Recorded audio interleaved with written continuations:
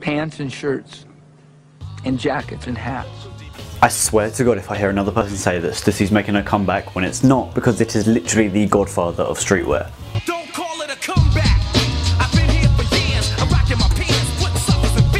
What is going on guys, my name is Felix and welcome to the video. Today we're going to talk about Stussy and how it hasn't fallen out of favour, how it's not going to lose its sort of status in streetwear, and this is definitely not making a comeback because it has been around for the past 30 years, going on 40. Without Stussy we wouldn't have much of today's streetwear brands and many of the skateboard brands as well were heavily influenced by Stussy or funded by them in some way or another. Is arguably one of the biggest influences in the whole streetwear community for the past 40 years and it's incredible to see how far the brand has come.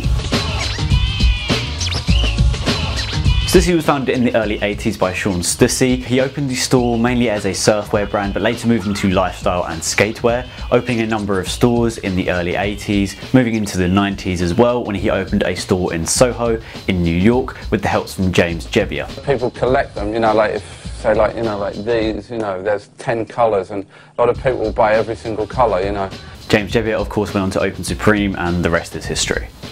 He also moved into business with Frank Sinatra Jr., which has no relation to the singer, so don't worry, get rid of him, before eventually leaving the company in 1996, leaving the brand Stussy to the family of the Sinatras. Since then, it's opened a number of stores worldwide, including Amsterdam, LA, obviously New York, Tokyo. There's hundreds of them. They're known as chapter stores, which are kind of Stussy stores. And I have to say that the actual stores themselves are really, really nice. Probably one of the best like stores in every city that I've been to.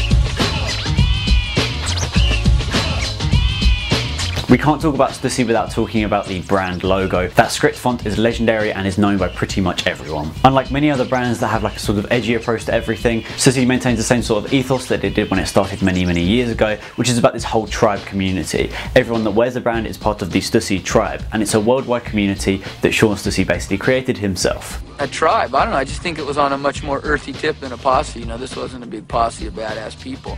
A tribe was a very organic word, it had a good old world feel to it, and uh, it just kind of stood the test of time. He wanted to make a family and a community of people who wore his brand and that everyone feels part of this community. Rather than just wanting to make money from the clothes, he made the clothes for the people and his audience. He wanted to build from the grassroots and build a good fan base and constantly please them with every new collection. And let's be honest, it's probably one of the best entry brands into streetwear, which is affordable and accessible. We got some hats. No, wait a minute, we don't have hats. So when it comes to target audience for Stussy, they're pretty much everyone. They literally have anything for everyone. As I said, it's a very good entrance piece to streetwear, so they do have very basic streetwear pieces. They'll go for the classic logo t-shirts, but if you look past the classic logo t-shirts, hoodies and sweatshirts, you'll see there's a very strong design team behind this. They'll alter the logo in different ways, have really cool graphic tees which are heavily inspired by graffiti, have cool embroidery on many different pieces of clothing as well as hoodies, jackets, t-shirts, socks, trousers, short sleeve shirts, pretty much everything. And their graphics department is very, very strong. For me, my favorite pieces are definitely the short sleeve shirts, especially for summer. Their graphics are incredible and they do challenge the likes of Supreme when it comes to the graphics on the short sleeve shirts. Of course, those have caps for pretty much everyone. We're talking five panel camp caps, snapbacks, beanies, everything. They literally do every hat under the sun. The cut and sew pieces are also extremely well made.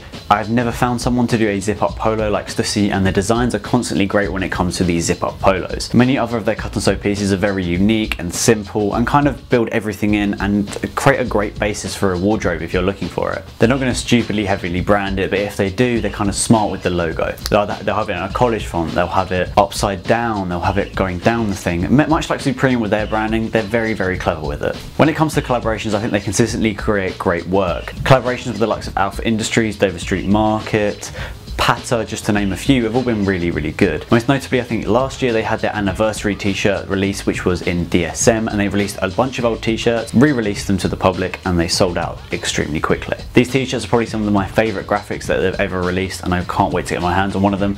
I've just got to find them somewhere. Unlike many other brands, Stussy has consistently had the same aesthetic and the same sort of target audience in mind. Reproducing old pieces, which kind of brings in the nostalgia feel to their brand, and they're consistently making good products which are always accessible. When it comes to this so-called comeback, I think that every single Supreme season the same statement is made by someone in the streetwear community. Stussy is making a comeback, oh yeah, the new Stussy collection is amazing, and I just feel like it's an excuse for people to say, oh I don't really like the new Supreme collection. Many people kind of think that Stussy isn't a hypebeast brand, so they kind of avoid themselves from Supreme and focus more on Stussy. It's kind of a way to make them avoid themselves being called hypebeasts. This is a huge shame because I feel that Stussy are constantly creating great pieces and great collections and their lookbooks are probably some of the best in the streetwear community. I have to say Stussy and Carhartt probably have the best lookbooks in the entire streetwear industry. For me, they have a better customer service than most other brands, especially Palace and Supreme, and I feel like because of their wider audience, they kind of cater for everyone, as I've said earlier, and I think that people are put off by that, especially in the streetwear community. But for me, when it comes to looking into streetwear stores such as Size, Urban Outfitters, and even a few skate stores, I always look and go straight to the Stussy section because I always like to see what new pieces Stussy have released or created. Their releases aren't as widely broadcasted as many other streetwear brands, so it's kind of cool to have a look and to actually see the clothes in person, unlike many other brands where you have to go to the stores or queue for a while, which is a huge shame because you don't actually get to see them in person and it's a luck of the draw online. So to conclude, I have to say that Stussy are probably the best brand in streetwear at the moment and have been for the last 40 years, 100%. Just because it's considered mainstream doesn't mean that the brand is dead, it just means that they have more popularity. You could say that Supreme is now mainstream, but that brand is still dead. I don't really get that whole idea of a brand going mainstream and it becoming dead. To be honest, that just means that they're doing their job correctly and they're making a lot of money. Stussy has opened up its target audience to everyone, which is why I think they've been so successful over the past 40 years, because they're not only targeting surfers in the west coast of America. They're targeting skaters in New York. They're targeting everyday people who go about their day. It's really cool to see a brand that is most known for these things going for a wider audience and catering for pretty much everyone.